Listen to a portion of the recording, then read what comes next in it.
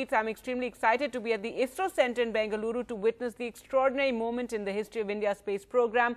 Youngsters from different states will also be present to watch those special moments. So, the Prime Minister, they're talking about his excitement ahead of that historic moment when uh, the Vikram lander will touch down also talking about how the children who will watch uh, that historic moment with him were the ones who won the ISRO space quiz on MyGov. So he says that uh, I'll be watching it with those bright minds. And the moment 130 crore Indians were enthusiastically waiting for is here in a few hours from now.